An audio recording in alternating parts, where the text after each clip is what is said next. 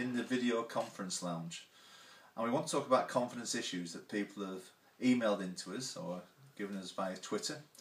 Um, one of the main things that's coming up this week is about how to present confidently. And I often get asked this question, and the answer sometimes is very simple passion and authenticity. You've got to believe in what you're doing, and you've got to be authentic. You've got to know your stuff. If you marry the two together, everything falls into place. That's a simple tip authenticity and passion for great public speaking. Thank you.